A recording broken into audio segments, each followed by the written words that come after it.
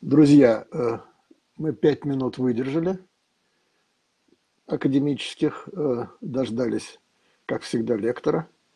Вот, и приступаем да. сегодня к очередному вебинару э, Высшей школы терапии Московского городского научного общества терапевтов. Мы перешли в режим онлайн, и на самом деле у нас количество слушателей даже увеличилось, а не уменьшилось что э, приятно. И чтобы она на кнопочку нажала.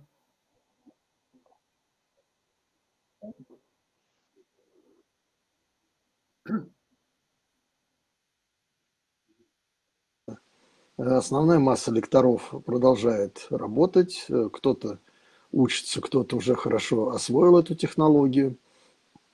Вот. Поэтому мы думаем, что это, за этим некоторое будущее. Посмотрим, как будет развиваться дальше ситуация. Значит, у нас сегодня э, первый доклад посвящен э, гипертонии с высоким сердечно-сосудистым риском. Значит, вот тема, которая раньше, может быть, звучала как-то так, ну, ну, ну, ну риск, ну и что. Сейчас она звучит очень болезненно, потому что Больные фактически оставлены дома один на один со своими проблемами. И мы уже знаем случаи, когда люди э, умирают от э, А сколько вы выступали по времени, в общем, не получая помощи. Вот недавно погиб да. какой-то известный э, человек из коммерсанта, бывший вот коммерсанте. Э, за неделю до этого он пытался Со... найти контакты врача. Со всех стран задавали вопрос. Видимо, не да? нашел или нашел, не знаю уж как. Но сами понимаете, что в этой ситуации, когда вы не можете выйти на улицу, когда вы не можете купить лекарства, вы не можете пригласить врача, вы оказываетесь в жуткой ситуации. Особенно страшно это для одиноких людей, естественно. Для тех, кто помоложе, это не так страшно. А вот для пожилых, одиноких, эта ситуация ужасная. И поэтому сегодня сердечно-сосудистая патология в условиях э, тотального такого даже не знаю, что, как назвать это, тотального лагеря. Это ужасно. Вот. И э, при этом э, все рассказывают, как нужно соблюдать карантин, как нужно не выходить на улицу, как туда-сюда. И вот ну, сегодня слайды сам, мы сам... в каждом метро часовые очереди на вход. Стоят люди, прижавшись плечами друг к другу, и менты нет, пальчиком забивают скажу, их да. номера к себе в телефон, пробивают, насколько у них пропуска. То есть ни о каком вообще э, социальном пространстве или там социальном, как он там называется, дистанции нет никакой речи. Просто миллионы людей сегодня были сбиты в кучу. Ну, а я не уйду. Чего? Место буду, Если вы говорите о том, что нужно общаться и сидеть как мышки, не выходя из дома, это один разговор. Но если вы так не говорите, тогда вот то, что мы сегодня имеем, это еще и социальный сегодня. Пожалуйста. Добрый день, уважаемые коллеги. Ну, наш вебинар проходит на фоне непростой ситуации, поэтому я начну с того, что всем пожелаю хорошего здоровья, настроения и надеюсь, что мы все-таки быстро вернемся к нормальной жизни. Ну вот что касается моего доклада, то он посвящен актуальной проблеме пациентов с артериальной гипертонией высокого риска. То есть я хотел бы э, прояснить эту ситуацию, что это за категория пациентов, как их надо ввести согласно современным рекомендациям. Ну и, конечно, сейчас все говорят о коронавирусе, и немножко небольшая часть моего выступления будет посвящена взаимосвязи ковида с сердечно-сосудистыми заболеваниями и некоторой информации, которая вызывает интерес, но, ну, в общем-то, на это особенно обращать внимание не надо. Итак, давайте начнем с определения. Кто же такие пациенты э, высокого, высокого риска? Так. Слайды пока не идут. Нет, тоже не идет. Слайды, Андрей, слайды не идут. А, смотрите, у вас, я слышу звук ошибки. Может, вы попробуйте мышкой кликнуть по слайду и потом стрелочками переключать. Так, вот так? И стрелочкой? Ну, и стрелочкой. Вот это? Вот, вот, вот, вот это. А, вот это. Угу. Пошел? Так, стоп. Отлично. Стоп, стоп. Он через... Так. Ну, вроде пока идет. Уважаемые коллеги, значит, э, пациенты высокого риска. Если проанализировать вот так называемый сердечно-сосудистый континуум, начиная от факторов риска, дальше через ишемическую болезнь сердца, хроническую сердечную недостаточность, то пациенты высокого риска находятся в начальном этапе. То есть, когда у человека есть артериальная гипертония, нарушение липидного обмена, курение – но нету заболеваний, связанных с атеросклерозом. То есть высокий риск в данном случае означает риск высокий развития заболеваний, связанных с атеросклерозом. То есть пациенты с артериальной гипертонией высокого риска – это объект первичной профилактики. Вот это очень важно понимать. И, конечно, когда мы говорим о высоком риске, прежде всего, конечно, надо отталкиваться от артериальной гипертонии, потому что если сравнивать гипертонию с другими факторами риска, то он, безусловно, вносит наибольший вклад в преждевременную смертность. И поэтому, насколько мы своевременно будем выявлять эту патологию, правильно вести этих пациентов, от этого будет зависеть эффективность профилактики сердечно-сосудистых осложнений. И вот посмотрите, в связи с этим я хотел бы две цифры привести из прошедшей диспансеризации, вот диспансеризация, которая прошла в 2012 году, э, и вот проанализировали пациентов с сердечно-сосудистыми заболеваниями, причем впервые выявленных. Конечно, среди них пациентов очень много, наверное, высокого риска. И вот обратите внимание, гипертоников подавляющее большинство среди всех заболеваний – связанных с атеросклерозом, ИБС, стенокардия, цереброваскулярные заболевания, гипертоники – это подавляющее большинство. Более того, обратите внимание, когда проанализировали всех пациентов, не только больных с сердечно-сосудистыми заболеваниями, но и всех пациентов со всеми болезнями, оказалось, что гипертоников ровно половина. Отсюда вы можете представить масштаб проблемы, еще раз подчеркиваю важность своевременного выявления и правильного ведения пациента высокого риска. Как определяются пациенты высокого риска? Какой у нас инструмент? Ну, все вы хорошо знаете, шкала СКОР. Мы оцениваем риск развития, то есть смерти сердечно-сосудистых заболеваний в течение 10 лет. И вот когда риск находится в пределах от 5 до 10%, это пациенты высокого риска. Но, к сожалению, шкала СКОР не учитывает такие важные моменты, как поражение органов мишени, тем более она не учитывает сопутствующие сердечно-сосудистые заболевания. Особенно важно в плане диагностики пациентов высокого рика выявление поражения органов мишени. Это гипертрофия левого желудочка, сосудистые изменения, поражение почек, снижение скорости почковой фильтрации и так далее – то есть задача практического врача не пропустить эти изменения, своевременно выявлять поражение органов мишеней, постольку, поскольку любое поражение органов мишеней, вот согласно стратификации сердечно-сосудистого риска, тут же относит пациентов к группе высокого риска. А вот сопутствующие сердечно-сосудистые заболевания, это уже относит пациента к группе очень высокого риска.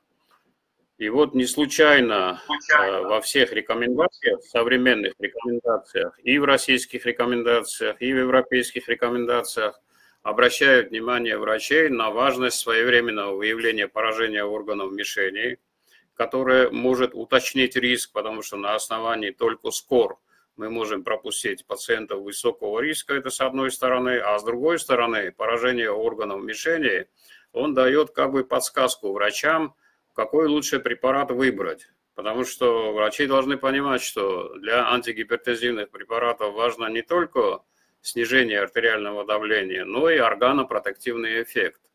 То есть это одинаково важным должно быть для врача, потому что препараты с органопротективным эффектом обеспечивают максимальное снижение сердечно-сосудистого риска. А, и вот не случайно, если вы посмотрите последние европейские рекомендации, пожалуй, впервые для оценки риска объединили, шкал, объединили шкалу СКОР и стратификацию риска по сердечно-сосудистому заболеванию. И вот посмотрите, здесь э, группу высокого риска можно определить и по шкале СКОР, и по наличию поражения органов мишени. Считаю, что это, в общем-то, достаточно идеальная ситуация в плане определения пациентов высокого риска. Раньше этого не было, так что вот появление этой таблицы надо, в общем-то, приветствовать. Итак, как мы должны вести пациентов высокого риска? Ну, есть такое золотое правило вообще э, ведения кардиологического пациента на любом этапе сердечно-сосудистого континуума, какой бы пациент к нам ни приходил, основная цель – это максимальное снижение развития сердечно-сосудистых осложнений, то есть добиться максимального эффекта в плане снижения риска развития сердечно-сосудистых осложнений. Вот, уважаемые коллеги, обратите внимание, в 2020 году вот практически завершился цикл новых рекомендаций, вышли уже и Минздравовские рекомендации. Сейчас Минздрав, в общем-то, выпускает рекомендации по различным патологиям, ну и в том числе по артериальной гипертонии. Вот я тоже участвовал в разработке этих рекомендаций, так что все, о чем я буду говорить, можно мне, в принципе, в этом отношении верить. Итак, как нам добиться максимального эффекта у пациентов высокого риска? Ну, конечно, прежде всего антигипертензивная терапия, это безоговорочно. Пациенты высокого риска сразу требуют медикаментозного лечения артериальной гипертонии. Липид снижающая терапия, к чему мы еще не особенно привыкли, потому что статины врачи чаще все-таки назначают пациентам с ишемической болезнью сердца и с другими клиническими проявлениями атеросклероза. Э, до недавнего времени даже рассматривалась э, антиагрегантная терапия, аспирин в низких дозах у пациентов высокого риска. Но в последних рекомендациях, в общем-то, не советуют врачам э, использовать его в качестве первичной профилактики, но об этом я чуть попозже скажу. Ну и, конечно, очень важный момент – это коррекция всех сопутствующих факторов риска. Вот если мы выполним все эти условия, мы добьемся максимального эффекта снижения сердечно-сосудистого риска. И вот посмотрите, вот антигипертензивная терапия, то есть это вот в последних рекомендациях, тактика ведения пациентов, пациенты высокого риска, даже при первой степени повышения артериального давления, если у пациента есть сопутствующее поражение органов мишени, они, в общем-то, требуют безоговорочно медикаментозной терапии. Что касается немедикаментозной коррекции факторов риска, это, как говорится, святое, это рекомендуется всем пациентам, независимо от того, назначили вы препарат или не назначили. Ну, э, после того, как мы выбираем антигипертензивные препараты, мы должны добиться адекватного контроля артериального давления, то есть достичь целевых уровней артериального давления. Здесь есть небольшие изменения, я коротко скажу. То есть программа минимум – это снижение давления до 140 на 90 мм ртутного столба и ниже. При хорошей переносимости допускается более интенсивное снижение до 130 на 80 мм ртутного столба. Но достичь такого уровня артериального давления, как рекомендуют эксперты в последних рекомендациях, можно только на фоне комбинированной антигипертензивной терапии – потому что вот когда проанализировали ситуацию во многих странах, оказалось, что вот самый хороший показатель – это у 50% больных с артериальной гипертонией достигается адекватный контроль артериального давления, и во многом это связано с тем, что врачи по привычке назначают один препарат. А вот в новых рекомендациях все-таки врачам советуют делать ставку на комбинацию из двух препаратов. Вот, кстати, вот ситуация в России в плане адекватного контроля артериального давления, то есть это данные известного эпидемиологического исследования СЦРФ, максимум 25% гипертоников достигают адекватного контроля артериального давления. когда я выпускаю, э, когда я выступаю вот с такими сообщениями и прошу зал вот поднять руки, кто сразу назначает комбинацию из двух препаратов, то есть только 10-15% врачей э, голосуют за то, что они сразу назначают комбинированную терапию. В общем, без комбинации двух препаратов на старте лечения невозможно добиться адекватного контроля артериального давления. Вот, пожалуйста, алгоритм для введения пациентов с артериальной гипертонией и в первую очередь пациентов высокого риска. Ну, как вы, наверное, поняли, пациенты высокого риска – это пациенты с неосложненной артериальной гипертонией. Я уже в начале своего выступления об этом говорил. И вот, несмотря на то, что гипертоники неосложненные, на первом же этапе, как я уже сказал, рекомендуется выбор из четырех классов антигипертензивных препаратов, то есть сразу комбинация из двух препаратов, желательно в фиксированной форме для улучшения приверженности к терапии. Дальше мы переходим на тройную комбинацию, если не достигаем эффекта. Ну и, наконец, вот э, если и здесь эффекта нет, значит, мы уже сталкиваемся с резистентной гипертонией, и тут уже идут в ход другие препараты – типа спиронолактона, диуретиков, альфа-блокаторов и бета-блокаторов. Обратите внимание, в новых рекомендациях немножко изменили позицию бета-блокаторам, которые рекомендуется назначать при хронической сердечной недостаточности и остром э, инфаркте миокарда. Хотя при неосложненной гипертонии тоже, если есть, например, повышенная ЧСС, мы все равно не обойдемся без бета-блокаторов. Другое дело, что есть метаболически нейтральные бета-блокаторы, на которых надо сделать, в общем-то, ставку. Там не бивалол, бисопролол, карвидилол и метапролол. Очень важный момент, я просил бы вас обратить внимание на этот слайд. Э, я практически его зачитаю, потому что это очень важная, определяющая необходимость комбинированной терапии. Ну вот представьте себе неосложненного гипертоника, пациентов высокого риска. Ведь большинство из них, постольку поскольку у них нет никаких осложнений, никаких неприятных ощущений, вот очень часто повышенное давление ничем себе не проявляет. Поэтому они не мотивированы на лечение, то есть они подсознательно ищут причину, чтобы не лечиться. И вот вы представьте себе, что вы назначили такому пациенту один препарат, монотерапию. Ну, в 40% случаев, в лучшем случае, вы добьетесь эффекта. Это будет как бы повод для пациента, который и так не мотивирован на лечение, не продолжать лечение. А если вы назначите сразу два препарата, то вероятность достижения адекватного контроля высокая, и вы как бы предъявляете аргументы вашему пациенту, что вы правильно его лечите. Вот тогда пациент как бы поверит вам. То есть стартовая комбинированная терапия является не просто вот способом достижения адекватного контроля артериального давления, но и инструментом повышения приверженности пациентов к лечению. Поэтому очень важно об этом знать. Ну и, конечно, когда мы говорим о стартовой комбинированной терапии, преимущество имеют фиксированные комбинации, потому что ясно, что чем больше пациент принимает препараты, тем более немотивированный пациент, тем ниже приверженность терапии. А тут, если вот в одной таблетке объединены два компонента, конечно, повышается приверженность пациента к лечению, и с этой точки зрения, конечно, фиксированные комбинации имеют преимущество над произвольными комбинациями антигипертензивных препаратов. Ну вот хотел бы для примера привести такой препарат, препарат Лозап АМ, то есть это изменение названия, раньше он назывался Амзаар.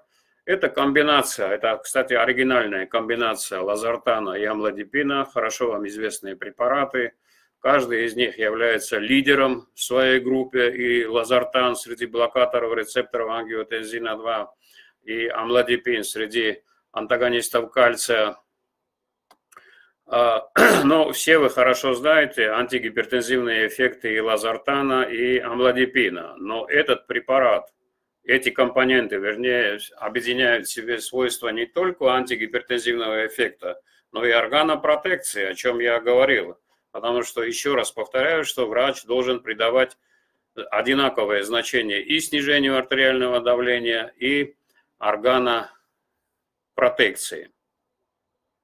Вот я хотел бы э, привести как бы пример, вот сопоставляя вот компонент этого препарата Лазапа АМ, вот эффект достижения адекватного контроля давления на монотерапии и на комбинированной терапии. Вот посмотрите, когда пациентам давали только лазартан, вот, только где-то 59-60% достигают адекватного контроля артериального давления. А вот специально было спланировано исследование, в котором сначала давали пациентам лазартан, то есть монотерапию, причем высокие дозы этого препарата. Дальше пациентов переводили уже на комбинацию лазартана и амлодипина. И мы вот сейчас посмотрим эффект. То есть по сравнению с монотерапией, вот, э, обратите внимание, более выраженное снижение и систолического, и диастолического артериального давления – на фоне применения комбинации двух этих компонентов. Как результат, целевой уровень на основе только лазартана достигнут в 60% случаев, а на фоне лечения лазапом АМ где-то 90% пациентов достигают адекватного контроля артериального давления. Ну, здесь примерно представлено то же самое. А, Еще в одном исследовании было показано, что лоза ПАЭМ примерно два раза эффективнее снижает артериальное давление и систолическое, и диастолическое, чем просто применение одного из компонентов лазартана. Причем этот препарат, что очень важно, обеспечивает длительный эффект, потому что хорошо известно, что на фоне терапии какими-то компонентами или даже комбинированной терапии – эффект немножко ослабевает с течением времени. А вот на фоне применения лозапа АМ обеспечивается длительный контроль и систолического, и диастолического артериального давления. И причем были, было показано на основании метаанализа, что комбинация стандартных доз блокаторов рецепторов и антагонистов кальция более выраженно снижает артериальное давление, чем высокие дозы то есть можно, в принципе, два варианта рассмотреть. Или увеличить дозу одного препарата, или, например, комбинация из двух препаратов. И вот особенно наглядно это демонстрируется на следующем слайде. Это достаточно много исследований были как бы объединены, 42 рандомизированных клинических исследований, причем по каждому из классов препаратов. И в среднем оказалось, что комбинация из двух препаратов пять раз более эффективно, чем удвоение дозы одного э, препарата. Таким образом, эти данные демонстрируют важность назначения стартовой комбинированной терапии для того, чтобы пациент успешно лечился и не отменял препараты, потому что, еще раз говорю, что фиксированные хорошие комбинации, вот типа лоза-ПМ, конечно, они еще повышают приверженность пациентов к лечению. Ну, еще раз хотел бы обратить ваше внимание на то, что компоненты лозапа АМ обладают не только адекватным антигипертензивным эффектом, но еще достаточно доказанной органопротекцией. Я сейчас хотел бы очень коротко проанализировать те исследования, чтобы обратить ваше внимание на органопротективные эффекты компонентов, вообще важность органопротекции – вот исследование АСКОТ. Обратите внимание, здесь как раз участвовали пациенты с артериальной гипертонией высокого риска. Одна группа лечилась на фоне применения амлодипина с периндоприлом, хорошо, хорошо известные препараты, а другая группа э, лечилась на фоне не очень-то хороших препаратов, атенолол, гидрохлортиазид, наиболее критикуемые препараты из-за отрицательных метаболических эффектов – но исследователи специально подбирали такие дозы, что у обеих групп обеспечивалось примерно одинаковое снижение артериального давления. И вот посмотрите на результат.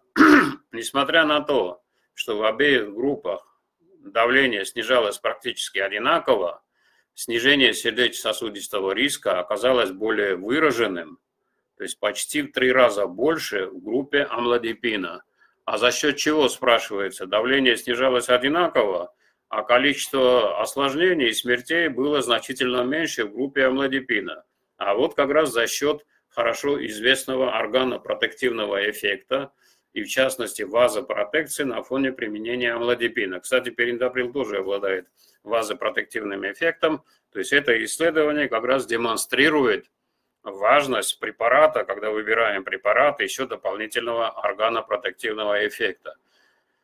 Что касается лазартана, то этот препарат ассоциируется с хорошо известным исследованием, не менее известное исследование LIFE. Особенность этого исследования состояла в том, что в нем участвовали пациенты с артериальной гипертонией, и у всех была гипертрофия левого желудочка. Вот более чем 9 тысяч пациентов. Одна группа лечилась на основе лазартана, ну там потом еще добавляли другие препараты для достижения адекватного контроля, а другая группа лечилась на фоне атенолола, то есть э, увеличивали дозу, добавляли тоже другие препараты. И в этом исследовании тоже удалось сбалансировать группы и препараты таким образом, что в обеих группах было достигнуто примерно одинаковое снижение артериального давления – но результат оказался совершенно разным в плане вот конечных точек. Обратите внимание, в группе лазартана отмечается более выраженный регресс гипертрофированного левого желудочка при одинаковом снижении артериального давления. Как результат, в группе лазартана происходит более выраженное снижение риска сердечно-сосудистой смертности и особенно это касалось инсультов. То есть наиболее выраженно вот в группе лазартана снижается риск развития новых случаев инсульта. То есть вот как бы э, я хотел бы обратить еще раз ваше внимание не просто на антигипертензивный эффект препарата, а на стратегическое воздействие этого препарата, снижение сердечно-сосудистого риска. И вот посмотрите, вообще э, самое высшее как бы достоинство исследования заключается в том, когда результаты этого исследования отражаются на показаниях для применения этого препарата. Вот в частности, благодаря этому исследованию, если вы посмотрите, например, э, показания для применения лазартана, это не просто артериальная гипертензия и хроническая сердечная недостаточность, о котором мы все хорошо знаем, но Стратегический эффект – снижение риска развития инсульта у пациентов с артериальной гипертензией и гипертрофией левого желудочка. А, еще один момент, связанный с этим исследованием, это единственное исследование, в котором было показано, что антигипертензивный препарат снижает уровень мочевой кислоты. И вот за счет снижения уровня мочевой кислоты на фоне применения лазартана вот именно этим эффектом на 30% объясняется э, влияние лазартана на конечные точки. То есть вот это единственный антигипертензивный препарат, который как бы снижает уровень мочевой кислоты. А э, доказано, что уровень мочевой кислоты является одним из важнейших факторов риска развития сердечно-сосудистых осложнений, и лазартан практически единственный препарат, если сравнить вот с другими представителями этого класса, который обеспечивает вот такой эффект.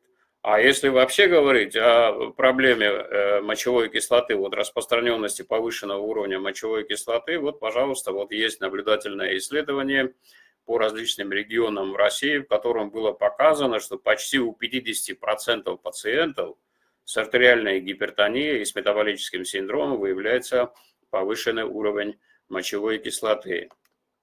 Кстати, вот не случайно в новых рекомендациях, и в Минздравовских рекомендациях, и в европейских, а, а, мочевую кислоту включили в список факторов риска, которые отягощают течение артериальной гипертонии.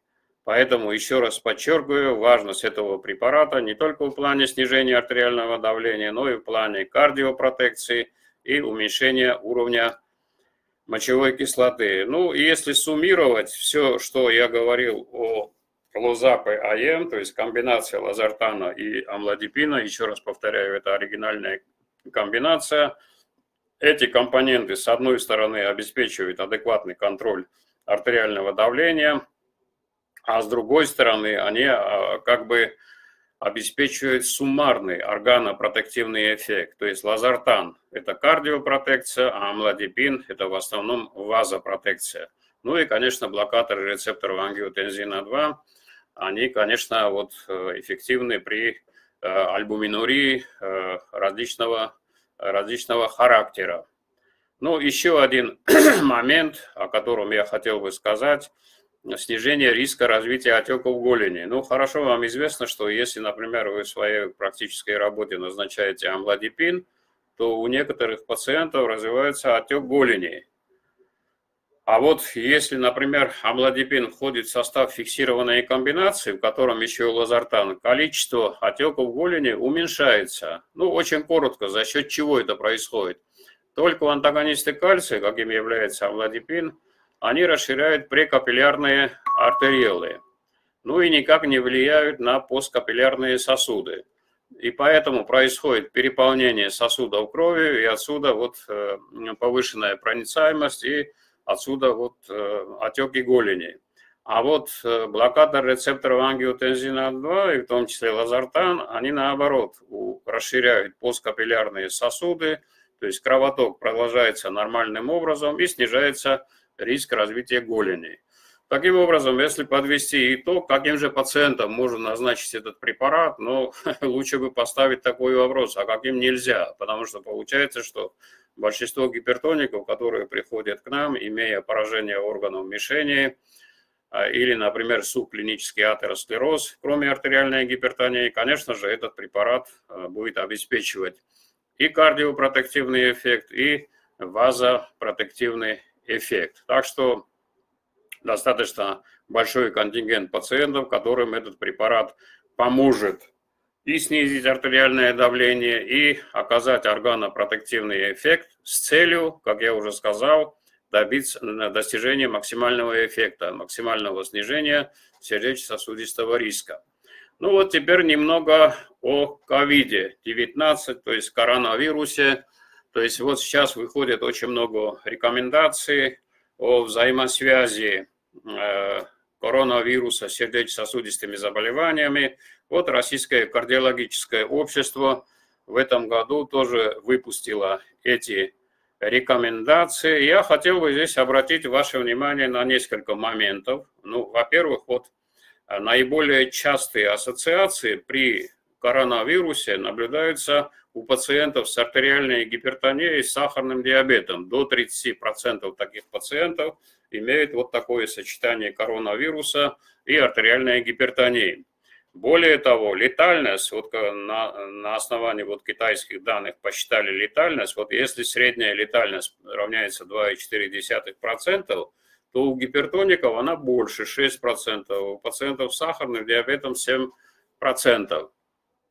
Ну, о чем это говорит? Ну, нельзя говорить о том, что, например, сердечно-сосудистые заболевания повышают риск развития коронавируса. А вот если коронавирус уже присоединяется к сердечно-сосудистым заболеваниям, конечно, риск значительно выше, чем просто при сердечно-сосудистом заболевании без коронавируса. Механизмы этих ассоциаций, они, в общем-то, не ясны, но я выскажу свою э, точку зрения. Мне все-таки кажется, что здесь дело, конечно, не столько в гипертонии и сахарном диабете, а здесь дело в том, что эти заболевания чаще наблюдаются у пожилых пациентов. А у пожилых пациентов более высокая смертность от коронавируса, хотя в последнее время уже появляются сообщения, что и более молодые лица – умирают от коронавируса. Ну, в любом случае эти ассоциации как бы анализируются, рассматриваются различные варианты вот этих взаимосвязей. Ну, будем ждать каких-то дальнейших вот материалов вот по поводу этого заболевания. Один из интригующих вопросов, который, в общем-то, поднял коронавирус. Предположение о неблагоприятных эффектах приема ингибиторов АПФ или блокаторов рецепторов ангиотензина-2. То есть начали говорить как будто о том, что эти препараты как бы увеличивают способность коронавируса проникать в клетки. Но, к сожалению, эти, ну не к сожалению, а к счастью, наверное, эти данные основаны только на небольших работах на животных, которые показали увеличение активности АПФ-2 рецептора. То есть коронавирус как бы э, э, проникает в ткани через этот фермент АПФ-2. Не тот АПФ, который блокирует ингибиторы АПФ, а АПФ-2. И вот начали утверждать на основе этих работ на животных, что вот э, применение ингибиторов АПФ или блокаторов увеличивает количество АПФ-2 рецепторов и способствует как бы лучшему проникновению в ткани, то есть в легких, там, сосудах и так далее. Однако для этого должны быть какие-то клинические исследования, чтобы доказать, что действительно Например, применение ингибиторов АПФ отягощает вот течение сердечно-сосудистых заболеваний и провоцирует как бы, то есть провоцирует более выраженное течение коронавируса. То есть таких, таких э, данных нету, чтобы было показано, что вот эти вот ингибиторы АПФ или блокаторы рецепторов ангиотензина 2, они как бы улучшают проникновение вируса в ткани. И вот как раз в этих рекомендациях э, как раз и написано, что в настоящее время нет клинических данных, свидетельствующих о благоприятном или неблагоприятном влиянии терапии ингибиторов АПФ, блокаторами рецепторов ангиотензина-2 на исходы у пациентов с COVID-19. И поэтому, если пациент получает, например, по поводу гипертонии, ишемической болезни сердца и сердечной недостаточности – эти препараты, ингибиторы АПФ или блокаторы рецепторов ангиотензина-2, не надо их отменять, потому что отмена этих препаратов, она наоборот будет увеличивать риск развития сердечно-сосудистых заболеваний, инфарктов, инсультов и так далее. Так что это только предположение, еще не доказанное. Что касается э, обычных вот рекомендаций, как вести, например, э, гипертонику вот в условиях коронавируса, ну, здесь особых таких изменений нету, поскольку не установлен целевой уровень артериального давления у больных с COVID-19, следует использовать стандартные целевые уровни, о которых я говорил, и вообще вот введение пациентов с COVID проводится исходя из общих клинических рекомендаций. Ну, другое дело, что больным с артериальной гипертонией не рекомендуется плановые визиты к терапевту, кардиологу, и при наличии технической возможности они могут быть заменены на телемедицинские консультации. Это то, что касается информации о взаимосвязи COVID-19 с сердечно-сосудистыми заболеваниями, и в частности вот с артериальной э, гипертонией. Конечно, здесь накапливаться будут данные, но лучше бы этот COVID-19 как можно раньше ушел бы от нас и, в общем-то, больше и не возвращался. Ну вот, э, я подхожу как бы к последнему разделу своего сообщения. Я уже с самого начала обозначил главную цель ведения пациентов с высоким риском э, – про идеальную антигипертензивную терапию я все сказал. Ну вот сейчас липид-снижающая терапия. Мы уже привыкли назначать, я уже говорил, липид-снижающую терапию у пациентов с ИБС или с другими клиническими проявлениями атеросклероза, но не привыкли назначать статины у пациентов качестве первичной профилактики, в частности у пациентов высокого риска. Но исследования совершенно убедительно показывают, что добавление статинов к антигипертензивной терапии обеспечивает более выраженное снижение сердечно-сосудистого риска, чем только антигипертензивная терапия. Кстати, исследование АСКОТ, которое я уже показывал, как раз это было там доказано, что вот добавление статинов обеспечивает более выраженное снижение сердечно-сосудистого риска. Несколько слов об аспирине. Я уже говорил, что раньше допускалось в определенной категории пациентов применение аспирина. Но вот э, последние рекомендации, начиная с 2016 года, 2017-2018, они свидетельствуют, согласно этим рекомендациям, здесь хотя на английском языке этот слайд, но переведу по-русски, антиагрегантная терапия не рекомендуется у пациентов без сердечно-сосудистых заболеваний из-за повышенного риска кровотечения. То есть риск побочных эффектов преобладает над пользой от применения аспирина. Хотя многие врачи жалуются, что пациенты, вот когда приходят к ним на прием, очень много пациентов, которые сами себе назначают аспирин под воздействием аспириновой рекламы. Если к вам такой пациент приходит, надо любыми способами разубеждать этих пациентов, чтобы они не принимали аспирин в качестве первичной профилактики. Ну и последние два слайда. Конечно же, я уже анти, антигипертензивная терапия, липидснижающая терапия – это хорошо, но без рекомендаций по здоровому образу жизни, отказ от курения, снижение массы тела, повышение физической активности, мы не добьемся максимального эффекта. Более того, есть исследования, которые свидетельствуют о том, что факторы риска, такие как курение, например, ожирение, они снижают эффективность антигипертензивной терапии. Поэтому нашему человеку, российскому пациенту, надо говорить о том, что если они только принимают препараты и не ведут здоровый образ жизни, говорить о том, что они зря выбрасывают деньги на покупку препарата, если они не будут отказываться от курения или вести здоровый образ жизни. Может, может быть, вот такая информация пойдет им на пользу, и они будут вести более здоровый образ жизни. Вот посмотрите, прекращение курения сравнивали в плане снижения сердечно-сосудистого риска, сравнивали с препаратом, которые по определению влияют на прогноз. Аспирин, бета-блокаторы, ингибиторы АПФ, статины. Оказалось, что отказ от курения ничуть не хуже, чем эффект этих препаратов. Ну, понятно, что препарат принять легче, то есть принял и забыл. А прекращение курения – это очень э, большая работа над собой, волевые усилия и так далее. Но, тем не менее, об этом тоже надо говорить пациенту. Ну вот, завершая свое выступление, еще раз хотел бы обозначить основные моменты для того, чтобы правильно вести пациентов высокого сердечно-сосудистого риска. Это, конечно, первую очередь адекватный контроль давления, выбор препаратов с органопротективными эффектами, что я продемонстрировал на примере препарата лозапаем, липид снижающая терапия и, конечно, коррекция всех сопутствующих факторов риска.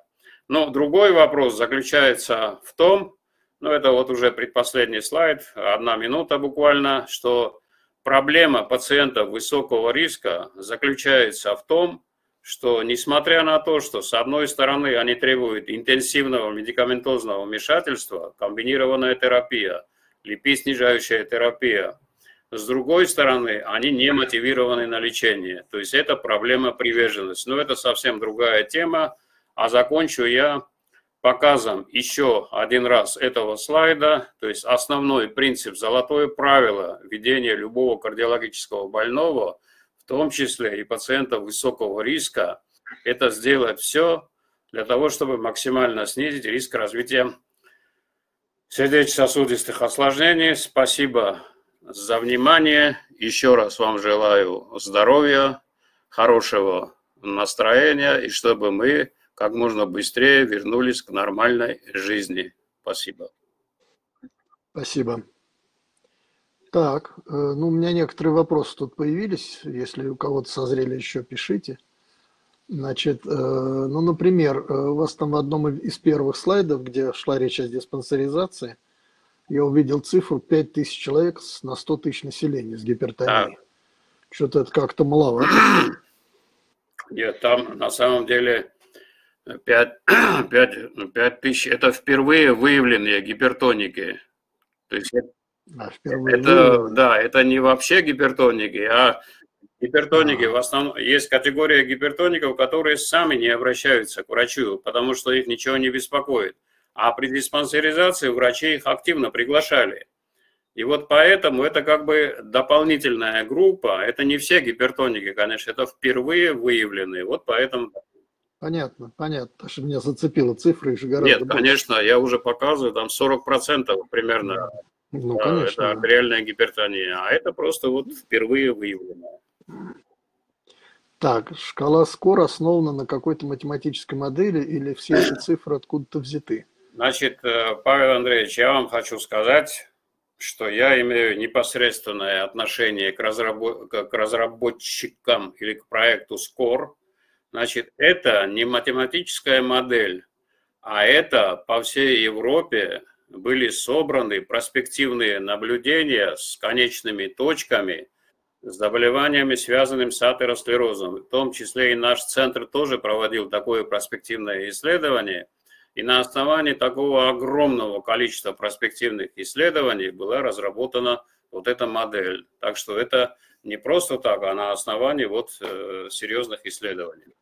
Ну, откровенно говоря, это ужасно, потому что ее невозможно автоматизировать. Что невозможно? Автоматизировать, там нет формул, насколько я нет, понимаю. Как, как нельзя автоматизировать? Есть, кстати, электронная версия в интернете. Ну, электронная версия – это просто калькулятор. Да, это калькулятор для оценки риска.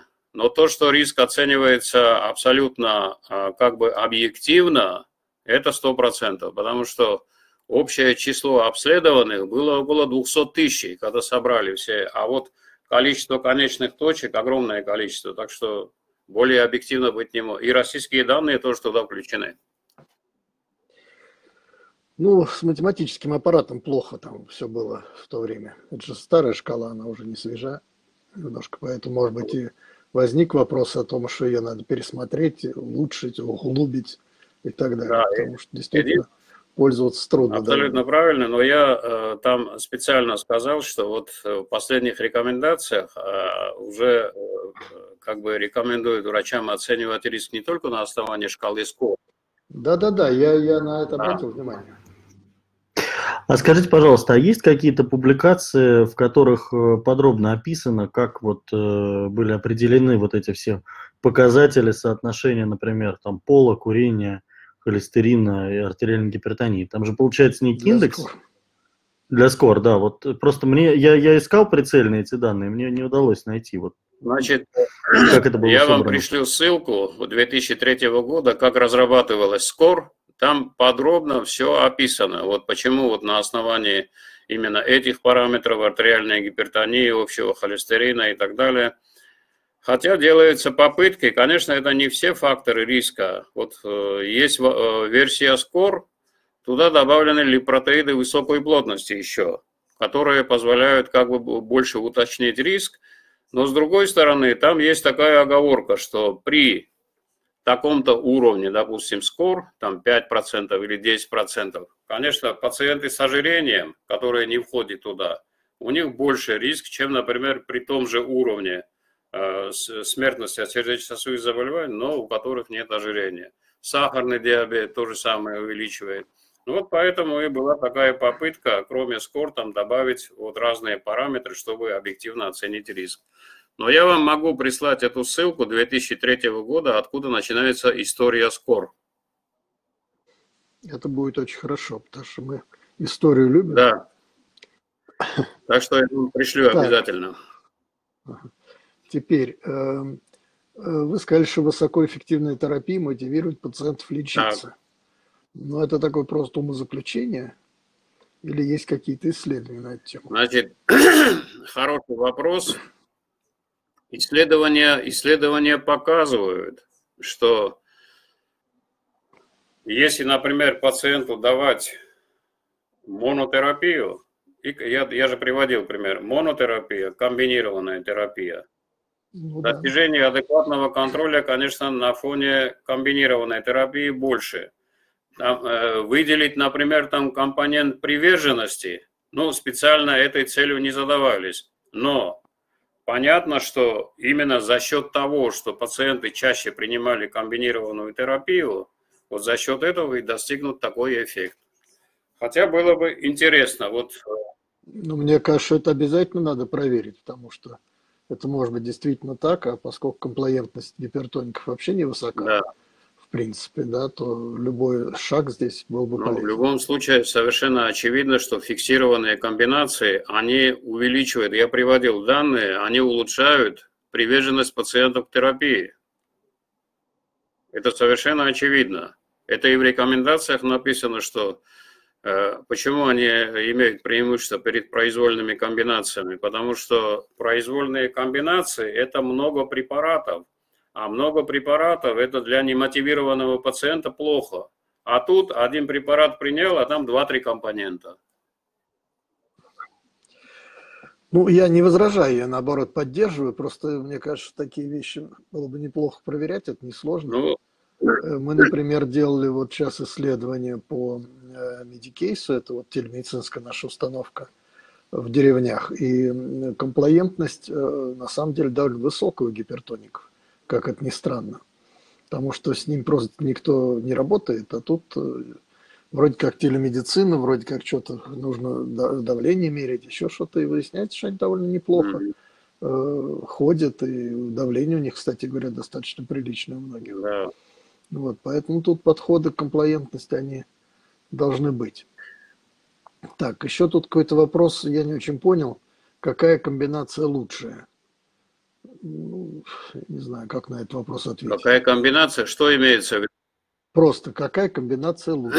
Значит, я скажу вот так, раз э, вопрос не уточнен, комбинация выбирается в соответствии с конкретной клинической ситуацией, с учетом и антигипертензивного эффекта, и органопротективного эффекта. Например, если к вам приходит пациент с гипертрофией левого желудочка или субклиническим атеросклерозом магистральных сосудов, Какая комбинация будет лучше? Конечно, комбинация ингибиторов и блокаторов рецепторов, потому что ингибиторы и блокаторы рецепторов ангиотензина-2, они оказывают кардиопротективный эффект, а антагонисты кальция, они оказывают как бы вазопротекторный эффект.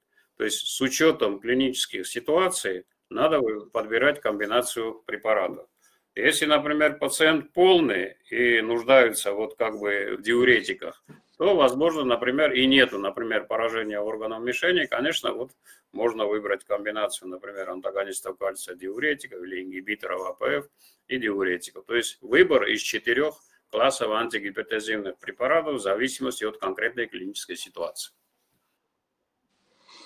Ну, то есть, возвращаясь к истокам нашей медицины любимой, хотя я терпеть не могу эту фразу. Лечение должно быть индивидуализировано безусловно, в любом безусловно. случае. Вот. Хотя никто никогда не произносил, что надо лечить не болезнь, а больного. Э, такие фразы были в конце XIX века, и они свидетельствовали о бессилии медицины. Тогда разговор шел о том, что мы не можем лечить болезнь, потому что у нас нет э, методов да, лечения да. болезни. И вынуждены лечить больного. Это, туберкулез там, и так далее. Но, конечно, на самом деле мы лечим сегодня болезни, изощренно лечим болезни, потому что вся антигипертензивная тема – это абсолютная изощренность, да, влияние на рецепторы, влияние на какие-то тонкие молекулярные механизмы. Но, конечно, подбирать надо индивидуально, потому что люди разные. Поэтому я согласен с тем, что комбинации лучшей быть не может. Они, они все разные, они все... Они, э, они все лучшие в конкретной ситуации. Ну, конечно, конечно. Да. да. Вот. Так, э, у нас там какая-то заминка с лектором. С лектором. Поэтому можем, да, можем еще немножко... Кстати, поговорить. вот э, я просто хотел выйти за рамки э, положенного мне времени. И вот э, интересный момент, э, связанный э, с нашим прошлым, Советским Союзом. Вы помните классификацию Мясникова, да? Первая стадия, ну, вторая конечно. стадия, третья стадия. Эта стадия была принята в 1951 году, 70 лет тому назад. Но до последнего момента европейские эксперты не признавали стадийную классификацию артериальной гипертонии. А вот если вы сейчас посмотрите вот последние рекомендации, там риск определяется на основе стадии артериальной гипертонии первая, вторая, третья. То есть точно такой же вот стадийная классификация, как в 1951 году. Очень приятно. Ну, это и приятно, и неприятно, потому что все, что мы здесь э, делаем и городим, а на самом деле мы делаем огромное количество Э, весьма э, хороших вещей. На Западе либо не знают, либо не воспринимают, либо вообще я не знаю как. Ну, э, например, есть такая тема, вот сейчас при COVID-19, это ДВС-синдром. Кол на голове я протесал. Я 25 января специально посмотрел. 25 января впервые написал, ребят, там ДВС-синдром, и там надо лечить гепарином, плазмой и плазмоферезом. Значит, в России на прошлой неделе, наконец, в рекомендациях Минздрава появился ДВС-синдром и гепарин. Ни плазма, ни плазмофереза. Ну, хотя бы гепарин. А ведь до этого его не было. Во всем мире просто эта тема не звучит. Как угодно они называют РДС, там ШМДС, все, что хотите, но только не ДВС-синдром. Но это ведь наша отечественная технология. Это ведь Зиной Соломонович Баркаган придумал. Мачебель придумала. Там Андрей Иванович подхватил, мой батюшка. Я-то, так сказать, участник этих всех процессов. Если бы я не знал, откуда ноги растут, так я бы так, может, не возмущался. Вот. А там нет, там этого ничего нет, они стерильны совершенно, и им хорошо без наших да, но... подходов. Но я просто, я просто к тому, что если вы возьмете, например, э, рекомендации, многие кардиологические рекомендации на 90%, вот возьмите гипертонию, ишемическая болезнь сердца, острый коронарный синдром, и сравните их с европейскими рекомендациями, 90% идет из европейских рекомендаций. То есть э, российского в европейских рекомендациях ничего нету. Я просто привел этот пример для того, что вот хоть один раз вот этот момент нашел отражение вот в европейских рекомендациях. Ну, как-то надо отстаивать эту ситуацию. На самом деле, вот то, что сейчас бьются со Скопусом, да, против чего все восстают, это может быть единственный способ пробиться в международные э, аналы, потому что нас, конечно, никто не читает, не потому что они там против России настроены, и все пляшут под Трампа. Нет, они просто не читают нас. Да. Они этого не видят. И надо публиковаться, публиковаться и публиковаться. Есть журналы, что... есть журналы российские, которые цитируют. Ну, есть, да, но пока мало. Пока мало. Вот в нашем центре два журнала рациональная фармакотерапия и кардиоваскулярная терапия и профилактика. То и оба на английском языке. А? Оба на английском языке. Нет, там и да, и на русском, и на английском языке переводятся вот статьи, и они цитируют. Статьи есть на английском. Да. Ну, это когда началось? Это два года назад началось? Да, да, Три да. года назад. Ну, да. о чем мы говорим? А мы сейчас говорим про Мясникова, да. 70 лет прошедших. Я, кстати говоря, еще одну тему знаю такая. Это э, хроническая болезнь почек. Я в свое время написал, что ХБ – это самостоятельная болезнь, т -т -т -т -т. ну, меня, конечно, обсмеяли, потому что ХПН – это э, последствия нарушения заболеваний и так далее. А сейчас ХБП вот, новая патология. Так, ну что, мы готовы? Да, могу отчитаться, что мы подключили Луис Долготна. Я с вами готовы. прощаюсь, да? Да, Давид Васильевич, спасибо большое. Не болейте. Не болейте тоже. Да, здоровья вам и хорошего настроения. Счастливо. Счастливо. Спасибо. Все хорошо. Так, следующее так. у нас выступление Луиза Долгатна. Ахмеджанова, э, доцент.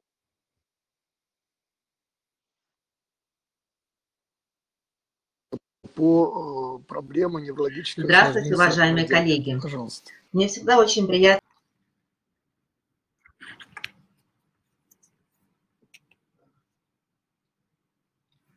нашими неврологическими знаниями. Ну и сегодня вы увидите, что проблема диабетической полиневропатии – это не только неврологическая проблема, это мультидисциплинарный вопрос. И, пожалуй, роль терапевта даже в некоторых отдельных формах диабетической полиневропатии более актуальна.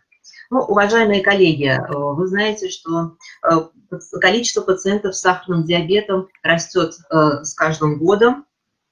А, сейчас, секундочку, я налажу.